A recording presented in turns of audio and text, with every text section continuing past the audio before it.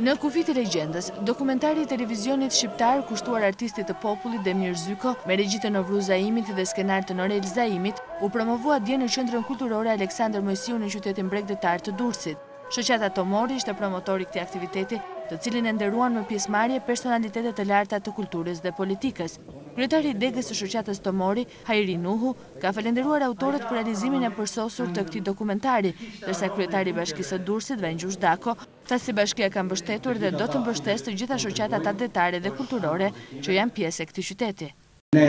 japim gjithmonë mesazhin që duam t'i vlerësojmë dhe t'i kujtojmë të gjithë ata që japin kontribut për kulturën shqiptare. Dokumentari sjell një personazh të shquar të polifonisë toske siç është Demir Zyko dhe si një njeri që vjen nga zona e Skraparit, ministri i Drejtësisë Nasip Naço tha se ndjehet krenar që promovohen këto vlera. Do doja që të falënderoja dhe një djalë të ri, Norelin, i cili ka bërë këtë dokumentar të shkëlqyer. Do t'i uroj atij suksese dhe besoj që ka ditur që të përzgjedhë në të vërtetë një legjendë, siç është Xha Demiri, një legjendë që ne na bën krenar, që ai është nga Skrapari, po dhe ne jemi nga Skrapari. Unë personalisht krenohem dhe zakonisht kur më kërkojnë figura nga Skrapari, u them që ja tek e keni Bilbilin, i cili ka kënduar dhe është i papërsëritshëm.